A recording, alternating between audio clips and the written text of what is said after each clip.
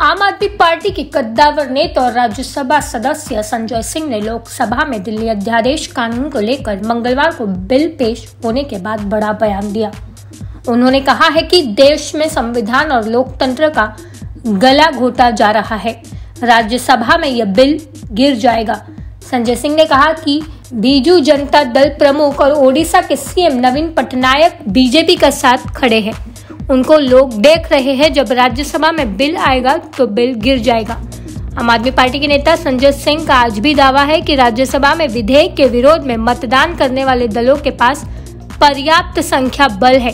दिल्ली अध्यादेश विधेयक को सुप्रीम कोर्ट के फैसले, संविधान और देश के संघीय ढांचे के खिलाफ है। आम आदमी पार्टी के कद्दावर नेता और राज्यसभा सदस्य संजय सिंह ने लोकसभा में दिल्ली अध्यादेश कानून को लेकर मंगलवार को बिल पेश होने के बाद बड़ा बयान दिया। उन्होंने कहा है कि देश में संविधान और लोकतंत्र का गला घोटा जा रहा है। राज्यसभा में यह बिल गिर जाएगा।